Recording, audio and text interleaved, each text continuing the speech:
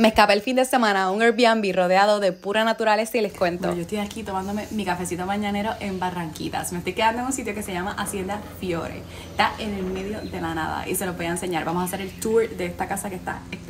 Llegué a Hacienda Fiore en Barranquitas buscando desconexión y encontré estas vistas panorámicas en cada rincón. De esas que vienen bien con una tacita de café caliente en la mañana. Pero primero les hago el tour. La casa es cómoda, tiene su cocina equipada y salita con televisor. El primer cuarto tiene dos camas tamaño full y aquí la house nos dejó unos regalitos. Aquí está el baño. El segundo cuarto tiene litera y el tercer cuarto también tiene una litera. Así que caben fácil 10 Y de personas. mis partes favoritas de esta casa es este lugar.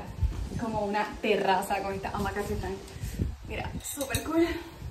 Para relajar. Cada rinconcito de este lugar es mágico. Son sobre 10 cuerdas de terreno en completa privacidad. Yo me la pasé correteando con mis sobrinos por todo ese campo. Es la definición completa de paraíso. Vean esto, a unos cuantos pasos de la casa tiene este río. La caminata te lleva a una pequeña charca que también puedes disfrutar, zambullirte y dejar mirar lo malo atrás. Pero aquí la verdadera magia ocurre en la noche, cuando te visitan las luciérnagas y duermes escuchando el coquí.